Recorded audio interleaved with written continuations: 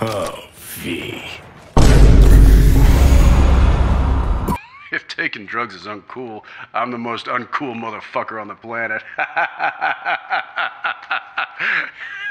Fuck you.